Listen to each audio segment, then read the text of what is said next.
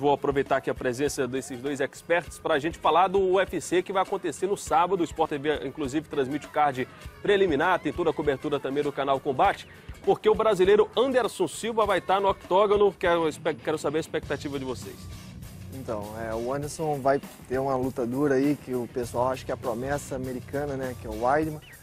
Mas eu tô bem confiante no Anderson. O Anderson é um cara tarimbado, já enfrentou lutadores até melhores que o Weidman aí. Não vejo, não vejo ele perder nessa luta, não. É, lógico que luta é luta, é 50% para cara quando fecha a grade.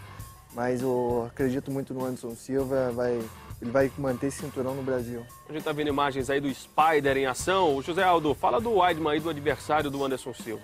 Não, o Weidman, como o Léo falou, né, colocou, ele é um, uma promessa americana, um cara que vem invicto é um cara muito bom de wrestling, muito bom de, de, de chão, né? A parte de jiu-jitsu dele é, é, ótima, onde que todos acham que o Anderson é, é, é, fraco nesse lado, mas eu vejo o Anderson também muito bom de jiu-jitsu, tem um conhecimento da luta de solo, então não vejo esse, esse favoritismo todo, como todos os atletas é, americanos estão botando que o Weidman possa vencer o Anderson. Eu acho que o Anderson é um campeão, não precisa provar nada para ninguém, é um cara, acho merecedor de tudo isso que ele está passando na vida dele, ser o campeão que é, mas eu acredito que seja nocaute do Anderson Silva. Mas é o melhor momento do Weidman?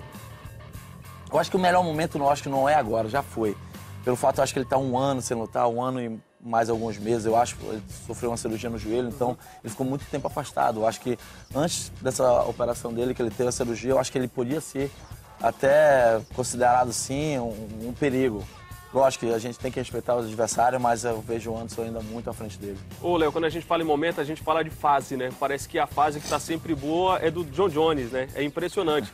E o Anderson Silva, inclusive, concedeu entrevista coletiva ao lado do John Jones e o Anderson falou o seguinte: ah, se eu lutasse com o John Jones hoje, eu perderia. O que, é vocês acham dessa declaração do Anderson Silva? Será que ele foi político? Espero que vocês não sejam políticos aqui. Eu acho que foi político. que ser um pouco meio. Foi, foi, um pouco falso, assim, vamos dizer. Não, vou, eu acho que vou perder, não mas. Não quis eu... polemizar. Isso, isso. Porque eu acho que cada palavra que o Anderson fala por ele ser o campeão, uma, uma lenda no esporte, se transforma numa coisa muito grande. Então eu acho que ele preferiu amenizar.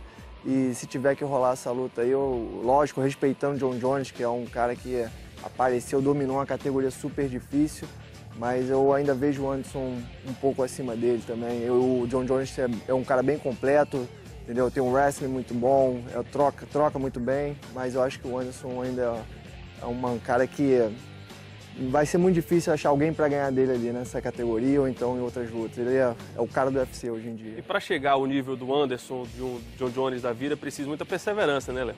Não, com certeza. Isso que sem perseverança não, você não chega a lugar nenhum. Esse cara aqui é a maior prova disso. José Aldo é um perseverança em pessoa, é superação em pessoa.